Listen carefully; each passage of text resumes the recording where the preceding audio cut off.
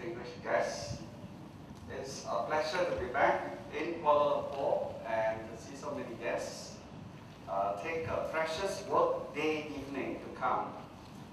I'm going to begin the activities tonight by doing a brain scan on you to see the amount of brain damage that we have.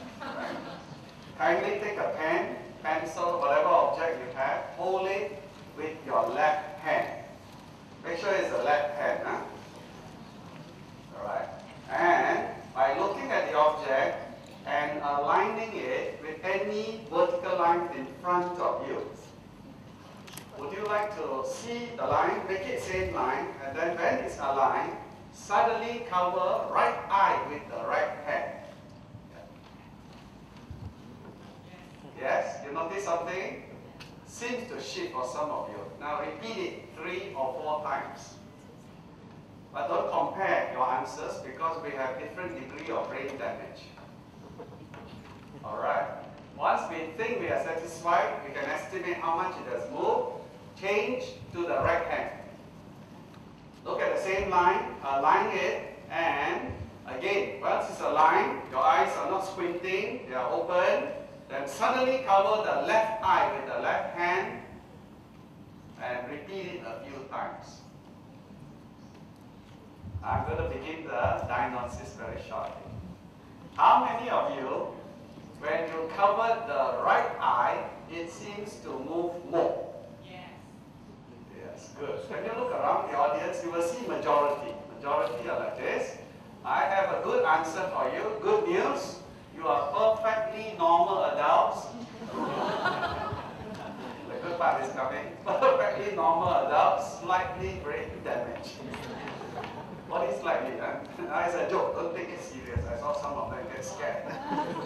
Second answer. Some of us, when we cover the left eye, then it moves more. There will be less people of this category. Hands up.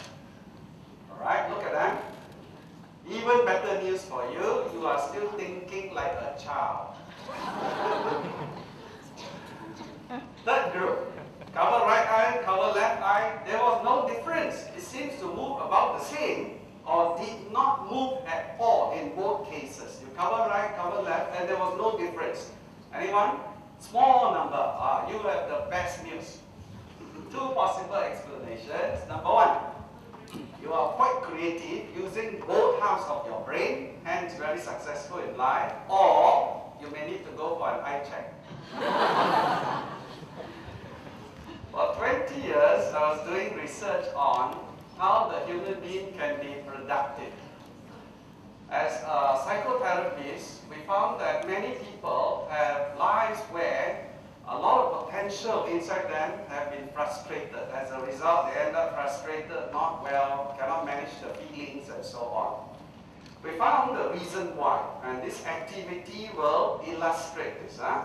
So help me play this game. Just numbers uh, are appearing on the screen, 1,000, 1,040, 2,000. You have to add, but you need to shout.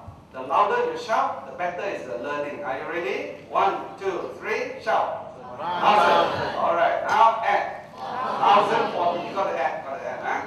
Keep adding. Thank you. Wonderful. And. That's it. I know some of you were waiting for my trick. Huh? The trick is there's no trick.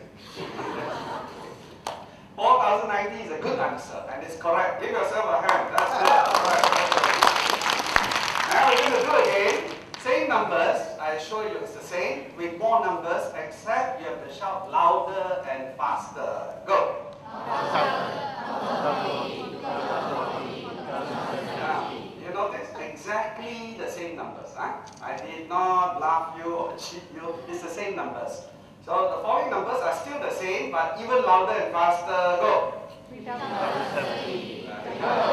Excellent. Louder. 5,000. Excellent. All those who got 5,000, give yourself a hand. You did it well.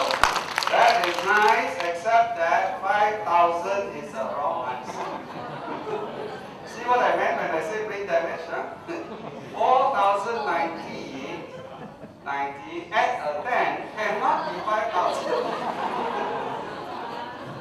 What do that?